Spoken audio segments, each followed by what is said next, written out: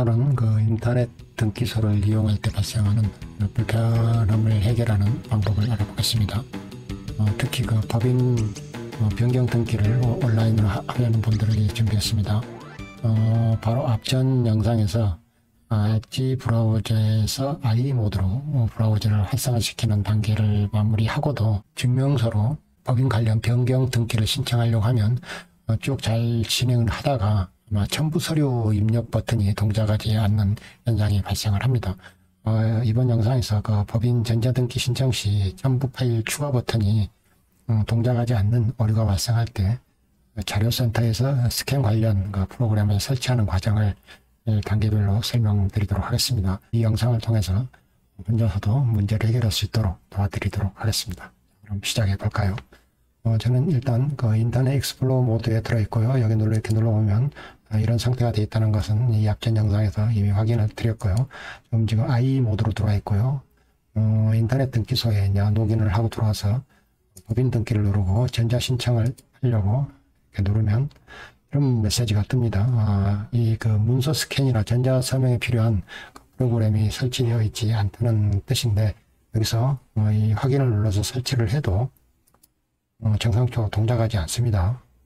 지금 설치 프로그램에 여기에서 여기에 좀 에스코트 어, 스캔 셋업.exe를 다운로드 받아서 하라고 되어 있는데 그래서 실행을 눌러도 정상적으로 동작을 하지 않는다는 것을 확인했어요.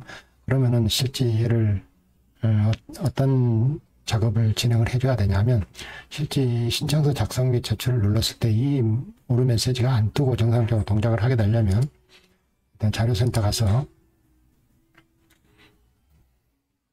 에, 여기 보면 스캔이라는 부분이 있습니다. 스캔 음, 스캔 관련된 이, 이 프로그램이 정상적으로 설치가 돼야 되는데 여기 다운로드 누- 누르면 아까하고 동일한 프로그램을 다운로드 한다는 걸 알 수 있습니다. 에스코트 스캔 Setup.exe를 저장해서 다운로드를 하려는데 일단 저장은 하겠습니다. 저장을 다른 이름으로 바탕화면에 예, 저장을 하고요.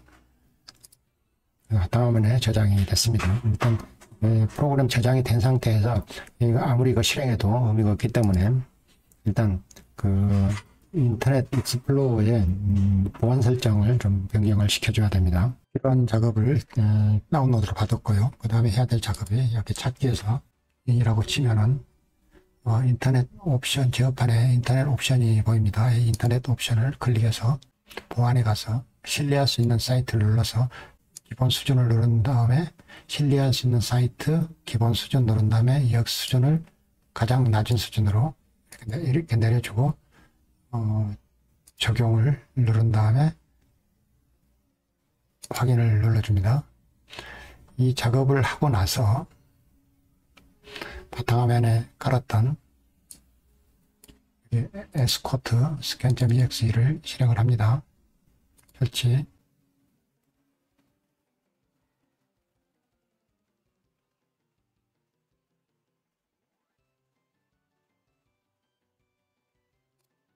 진, 한 다음에 법인들께서 전자신청 누르면 전자신청서 제출 및 대상 아까 그런 추가로 설치하려는 팝업 메뉴가 안 올라온다는 걸 알 수 있습니다.